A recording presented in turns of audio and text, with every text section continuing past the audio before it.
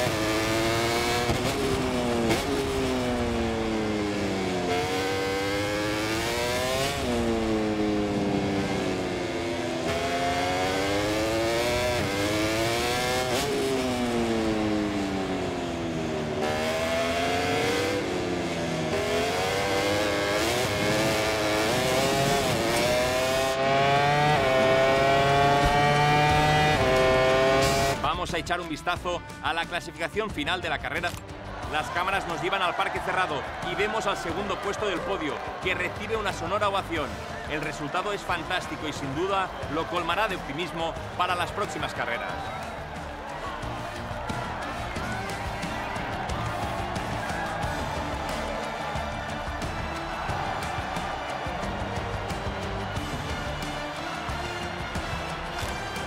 En directo con el podio, donde una bandera italiana ondea en lo más alto. Poco que reprocharle hoy al piloto italiano, que no ha dado opción a sus rivales y se lleva una victoria impecable. ¡Bravo, Bañaya!